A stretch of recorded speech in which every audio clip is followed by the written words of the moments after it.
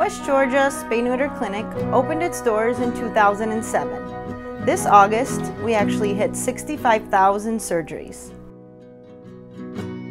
We have a very caring and very experienced staff who are all Humane Alliance trained. On average, we spay and neuter 50 pets per day.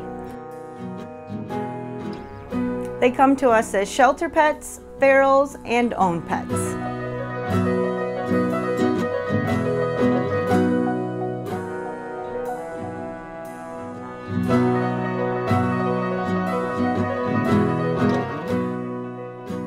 Georgia is one of the highest pet overpopulated states. It's heartbreaking to us all that they use euthanasia as a way of population control when we can help avoid this with education and spay and neuter. Spay and neuter, spay and neuter, and spay and neuter.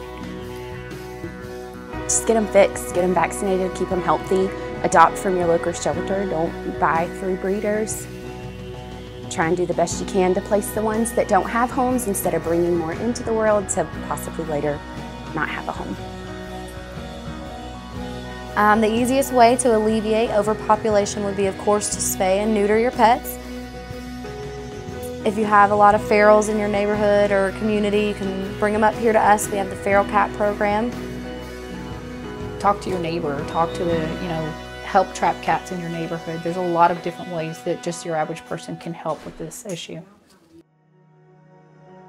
Spay, spay and neuter, adopt through your local shelter.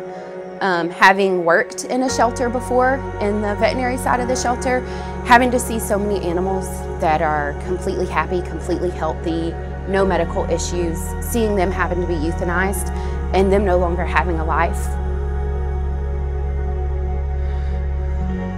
just having to euthanize them personally, just to have space to be able to put more animals that don't have a home, it's too much. Um, so yeah, adopt locally, spay and neuter.